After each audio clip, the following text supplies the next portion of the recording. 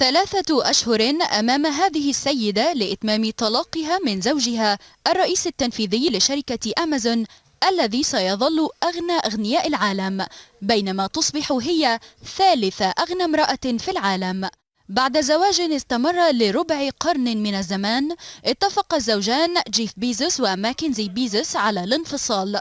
وبموجب اتفاق تسوية تحصل ماكنزي على حصة في أمازون قيمتها نحو 36 مليار دولار مقابل أن تتنازل عن حصتها في صحيفة واشنطن بوست التي اشتراها جيف بيزوس عام 2013 وفي شركة بلو أوريجين المختصة بقطاع صواريخ الفضاء والتي أسسها عام 2000 اتفاق التسوية يسمح لجيف أن يحتفظ بحقوق التصويت كاملة على حصته في الشركة وقيمتها 143 مليار دولار.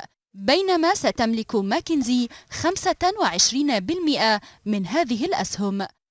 الثنائي لم يقدم تفاصيل مالية أخرى تتعلق باتفاق التسوية لكنهما عبر من خلال تغريدات على تويتر عن امتنانهما لرحلتهما معا التي بدأت منذ التسعينيات.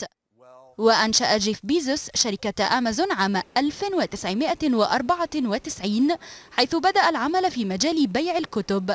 وأمازون حاليا أكبر متجر تجزئة إلكتروني على الإنترنت في كل أنحاء العالم.